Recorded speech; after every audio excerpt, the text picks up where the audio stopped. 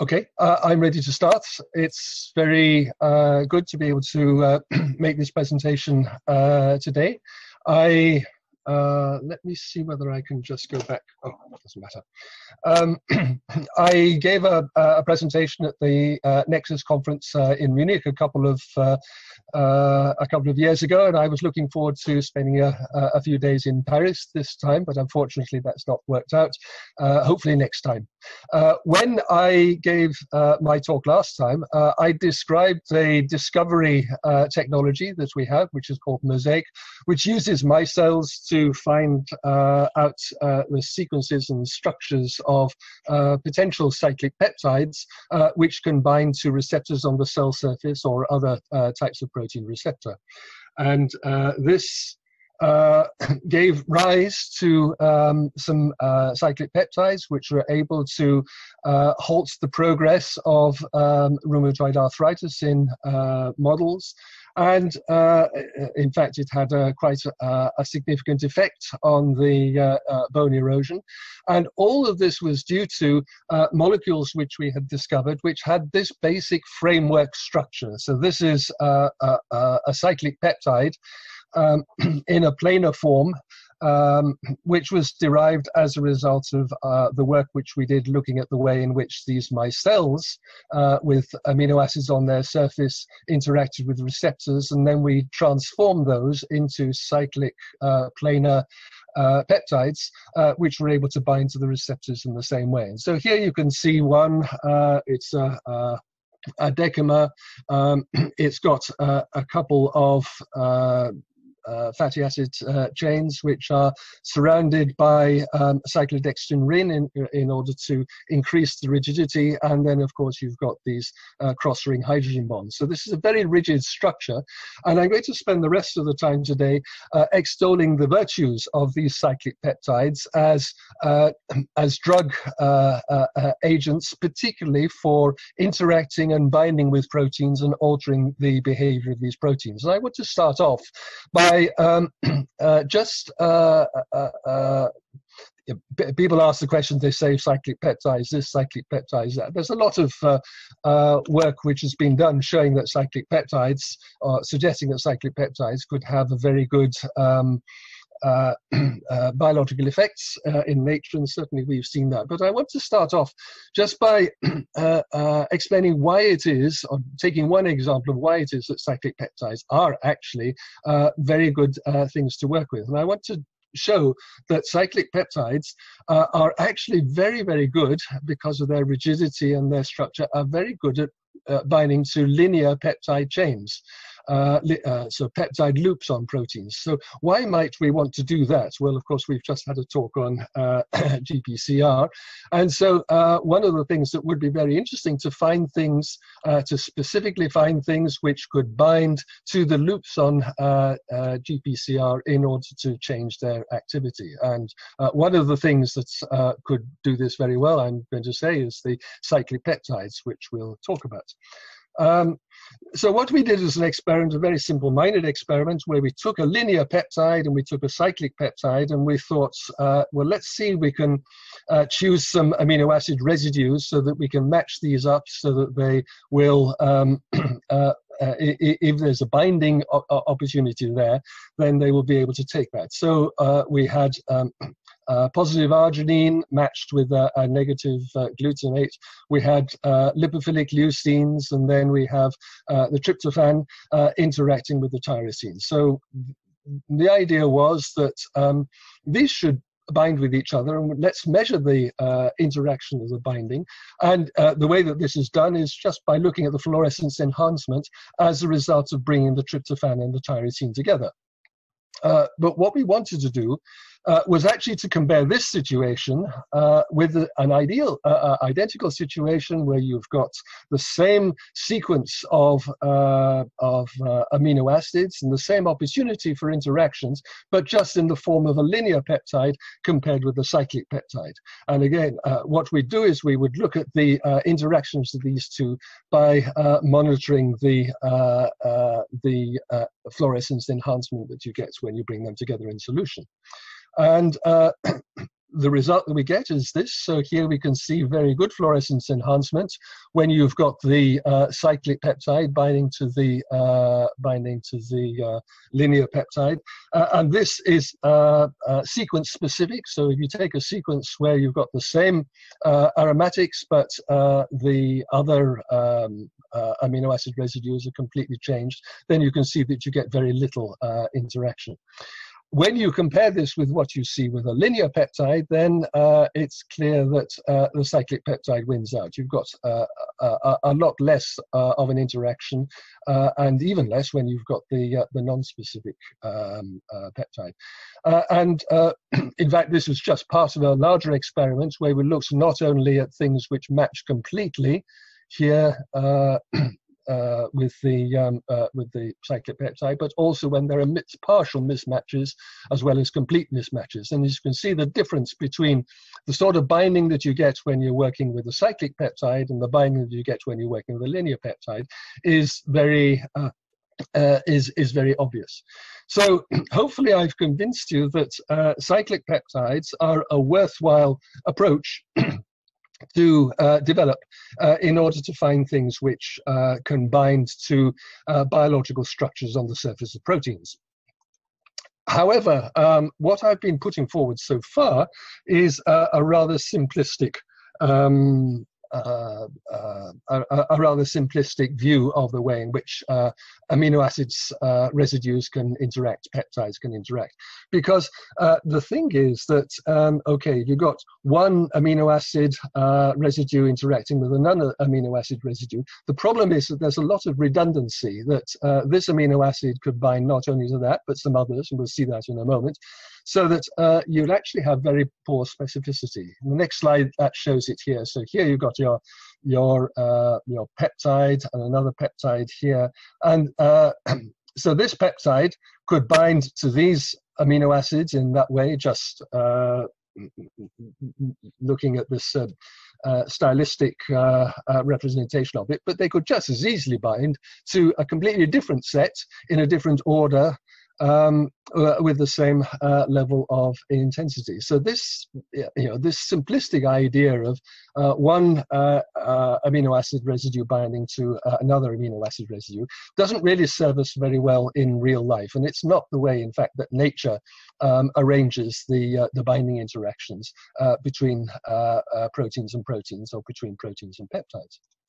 Um, uh, what nature does is it takes advantage of the fact that amino acids are multifunctional and they are multitasking. In other words, amino acids can do lots of different things and they can do these things all at the same time. Uh, so here we can see uh, this is one uh, residue here, and uh, uh, uh, an amino acid, as we as, as as we know, although we may not have looked into this in great detail, we know that amino acids can, under certain circumstances, interact at the same time with two different other am amino acid residues. And in fact, of course, this happens a great deal in nature, and this is the way in which nature um, is able to ensure the specificity of its uh, interactions with this relatively simple and in some cases redundant set of uh, amino acid residues uh, which, um, uh, which uh, form the proteins that uh, we work with. Um, so that uh, instead of that simplistic one-to-one interaction, this is a, a, a, representation of an ideal way in which proteins or peptides can interact with each other uh, so that every amino acid residue can bind to uh, two uh, uh, uh, other amino acid residues by what I call bidentate ligand interactions. So here you have one amino acid here, and you've got these two both interacting with that same uh, residue in a bidentate, so a, a two-toothed, a two-pronged uh, interaction. Um, let's have a look at that in the real world, and I've just picked out one example here, and this is actually uh, this is uh, this is SARS. It's not SARS-CoV-2. It's SARS-CoV-1. Uh, but actually, uh, this part of the molecule is very very similar. And so what we're looking at here is uh, the ACE2 receptor, the ACE2 cell receptor, and as we know, that binds to a loop on SARS-CoV-1 and SARS-CoV-2. And what I've done is I've just taken the loop itself and left the rest of the the spike protein away. And what you can see here is uh, three examples actually of uh, a bidentate ligand interaction. So here you've got your uh, an arginine uh, interacting with a uh, glutamate here, and so you've got two uh, bonds forming between the two amino acids. But here's more interesting. Here you've got a tyrosine, and that is forming bonds with two different amino acids, as we as we spoke about. So here you've got a serine, and this is I can't see very well, but this is probably another um, aspartate. And of course, uh, the whole of the uh, interaction is itself a bidentate ligand because this uh, uh bidentate ligand interaction because this loop is not binding to the uh, alpha helix just by a single uh, interaction, but it's binding by two interactions together. And this is something which uh, uh, introduces uh, specificity into the interaction. Um, it also uh, uh, makes the interaction stronger. It makes the interaction more stable as well. So uh, let's just uh, uh, look a little bit more about that. So the question is, how can we uh, uh, implement uh, that bidentate ligand principle with the cyclic peptides? So here are a couple of, this just reminds us the cyclic peptides that we're looking at, and the amino acids are all facing up on one side of the plane of the um, uh, of the cyclic peptide. This is what they look like uh, in a uh, in a computer uh, graphics uh, representation. You can see the cross ring uh, hydrogen bonds here. Um, uh, this is uh, this is actually an Fc receptor. So what you can see is you've got uh, uh, beta pleated sheets, you've got loops, and you've got uh, alpha helices. And basically, that's all that you have in any protein. So if you can cover all of those three different types of uh, structure in a protein, and if you can find some way of binding to those, then basically you've got the, the, whole of protein protein interactions covered. So um, uh, the cyclic peptides that I've described are actually absolutely perfect for that sort of uh, interaction because of the spacing, uh, because the spacing of the cyclic peptides is absolutely identical to the spacing between uh, residues that you want to interact with in the sort of structures that uh, you find in proteins. So here you've got an alpha helix, and here you can see, uh, if you look at the side of the alpha helix, that's the distribution uh, uh, as you go for a couple of turns. That's the distribution of the amino acids uh, on the surface of the alpha helix. And if you take a cyclic peptide, then uh, it interleaves, it just uh, um, fits perfectly onto the alpha helix. And as you can see, there's a lot of interleaving there. So there's a lot of opportunity for bidentate ligand interaction here, here, here, uh, and here.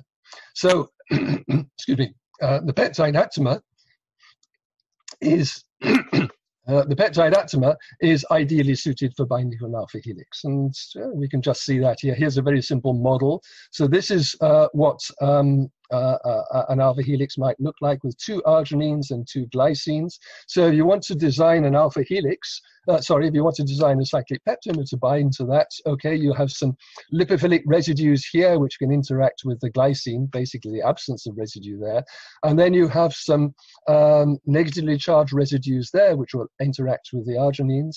And uh, uh, what I want to do is to just uh, emphasize that you the spacing is absolutely perfect. You've got your arginine there, and then you've got two carboxyls here. You've got another arginine there, two carboxyls there. So without having to um, uh, worry about the, uh, uh, the configuration of the cyclic peptide, it just presents these uh, residues in exactly the right place, right, exactly right position to interact with the uh, residues, whatever they are, on the um, uh, on the alpha helix.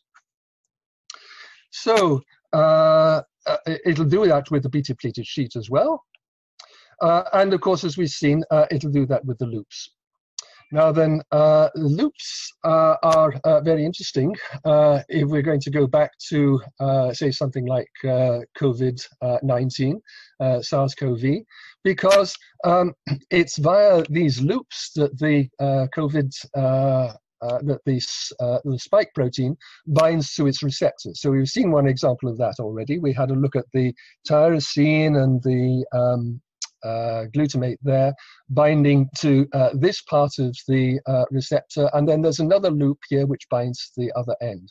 So if we can find um, uh, an aptamer, a cyclic peptide which combines to this and which combines to that, then uh, we can find something certainly which will be uh, able to inhibit that uh, interaction, or uh, at the very least could be um, a diagnostic uh, for detection of the uh, spike protein on the virus. This is what the loop looks like, and if you look at the the loops on the spike protein, you can see that you've got amino acid residues which are distributed throughout there, which are just ready for binding to a cyclic peptide.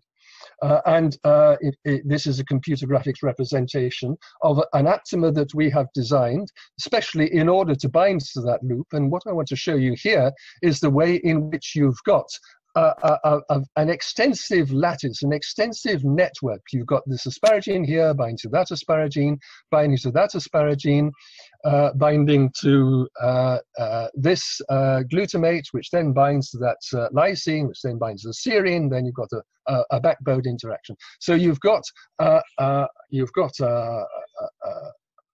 you've got a um, uh, a network here, which means that you've got something which is very much more stable than you would if you just had monodentate ligands. Um, how to choose those uh, different uh, amino acids? Uh, well, we have uh, uh, conducted a lot of data mining, and we've been looking at the interactions of amino acids in proteins which interact with each other, and we have established a database which demonstrates which particular amino acids, this is blinded of course, um, which particular amino acids are best at forming pairs with uh, two others. So we, we have something which tells us all the bidentate ligand interactions which uh, can take place and which are the ones which are most favored. In fact, we've managed to crystallize this into a little uh, uh table here. And the reason why I call this in cerebro is because you don't, once you've got to this stage, you don't actually have to look at uh, um, uh, you don't have to go back to the computer and do your calculations. You can just memorize this and uh, uh, and and pick out for every particular amino acid which is the best one uh, to choose in order to get this uh, bidentate ligand uh, ligand interaction. And if you show me any um, any protein, I could on the back of the envelope design you a cyclic peptide which will bind to it. What the just wanted to finish off with one last point because what's very important is uh, to get the uh, uh, the specificity right.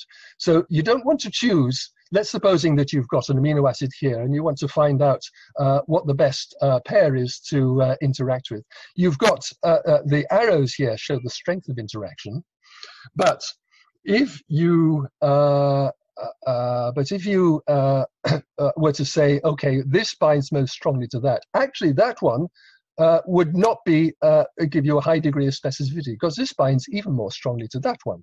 So if you want to choose a, a, a, a, pair, what you've got to do, for example, this one is the one that you want to choose that because this binds more strongly to that than anything else. So what you've got to do is to choose pairs not on the basis of which binds most strongly to a particular amino acid, but which pair binds least strongly to any other. And the data in our database that we have created uh, uh, gives you this as well. So that's the way in which you can get the uh, specificity that you want to uh, uh, that, that you need. And this just shows, excuse me, um, uh, this is the last slide. So this just shows how you uh, how that works out. And we've uh, got an aptamer which binds to COVIN1, which has been targeted to COVIN1. But if you look at uh, the loops on uh, uh, other parts of the COVID uh, spike protein or on SARS, then you can see that, that you've got background binding at all. So in conclusion, the cyclic peptide combined with the data mined bidentate ligand preferences gives you a prediction of structure which is both increased instability and increased specificity and uh, because you're working with cyclic peptides, it's something that you can uh, uh, synthesize very quickly once you've designed it, and uh, uh then you can validate the models uh, in uh, systems which are, um, oh, for example, the the last lecture that will be a very good model to validate these systems in. Thank you very much.